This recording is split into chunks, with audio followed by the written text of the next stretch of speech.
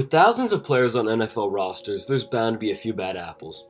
But when you think of those guys, you think the likes of Aaron Hernandez, Ray Rice, and Rae Carruth, not NFL Hall of Famers and TV analysts. But today, I want to bring you the story of how one of the NFL's greatest players and biggest TV personalities tried to murder a man. The Dallas Cowboys had been the most dominant team of the 90s, winning three Super Bowls, but they were beginning to fade away. With the aging of Troy Aikman, Emmitt Smith, Michael Irvin, and Larry Allen, they hadn't been able to dominate opponents like they used to. But even as their physical abilities began to fade, something else hadn't their egos. The Cowboys thought very highly of themselves, and the team embodied this egotistical mindset. But one player embodied these traits better than no other Michael Irvin, the playmaker. Irvin was the 15th of 17 children. Yes, you heard that right. He had 16 siblings, he was raised in the ghetto of Fort Lauderdale, Florida, and attended St. Thomas Aquinas High School, a football factory that's produced talents such as James White, Joey Bosa, and Geno Atkins. After a successful football career there, he would go on to attend the University of Miami. While at Miami, Irvin would set school records for receptions and receiving yards, play under his future head coach Jimmy Johnson, and win a national championship. This led to him being drafted 11th overall in 1988 by the Cowboys. Irvin would go on to help the Cowboys win three Super Bowls and was one of the most dominant receivers of the 90s. But he wasn't the prototypical receiver. At 6'2 and 217 pounds, he wasn't a speed guy and had to rely on his huge frame and aggressive mentality to go get the ball, which he did quite successfully, earning him the nickname the Playmaker. But on July 29, 1998, that aggressive mentality and huge ego almost ended his career. It was just another day at the Dallas Cowboys training camp in Midwestern State University, and players were waiting in line to get their haircut from a Dallas barber named Vinny.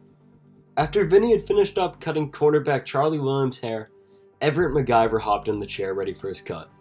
McIver, a 6'5, 325 pound lineman from North Carolina, had bounced around the league for a few years as a journeyman and was on his fourth team He'd been in the league since 1993. But then, Michael Irvin walked in and cut the entire line and went right up to McIver in the barber's chair, yelling, Seniority and Punk, get the F out of my chair. Irvin would then tell the barber Vinny to get this mother effer out of the chair. McIver, who'd been in the league for five years at that point, felt as though he should no longer have to tolerate this hazing. And with fellow lineman Eric Williams telling him, You're no effing rookie and he can't tell you what to do, Everett then shoved Irvin back. The two began to fight, and Leon Lett. Yes, that Leon Lett, tried to get in the middle and break things up. Suddenly, in the chaos, McIver punched Irvin right in the mouth. Bad move. Irvin's aggressiveness and ego completely boiled over at this point, as he grabbed a pair of Vinny's scissors and he stabbed McIver in the neck, just above his collarbone. He stabbed him with so much force that he just missed the carotid artery, which would have killed McIver.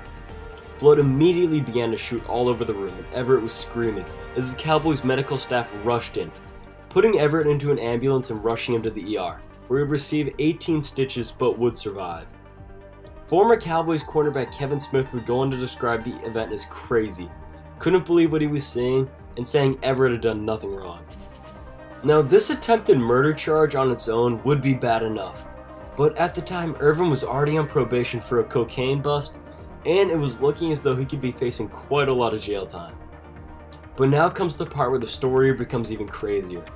Jerry Jones, the Cowboys owner, didn't want one of the greatest players in his franchise history to do some serious jail time, and he knew he had to act quick. Realizing he had to stop this before McIver could press charges, he organized Irvin to pay McIver over six figures to shut up and not press charges. And it looked as though the entire incident had been swept under the rug, until the Dallas Morning News found out about it. Once the papers found out and began to ask questions, Coach Chan Gailey and Jerry Jones called the incident horseplay and said they would handle it in house. Yes, they actually said that. And Michael Irvin would go on to tell reporters to let it go while McIver refused to comment. After the incident, McIver would go on to heal in time for the season.